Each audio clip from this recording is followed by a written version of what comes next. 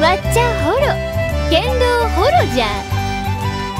私新しい服が欲しいんだけどな。ミューリ母さんのそういうところは真似しなくていいんだからな。よいかやミューリオスには上手に夢を見せてやることで 家庭の平和を守るためにそういうことにしておくそして食べ放題に飲み放題。変態欲をかくとひどい目に遭うって。昔のねえ父様最高ではないか。そうじゃろ？私は父様と一緒に作りたいな。わっちゃ主の荷馬車に乗り込んだ。最後まで。ずっと一緒じゃ。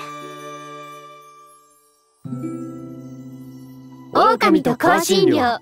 VR2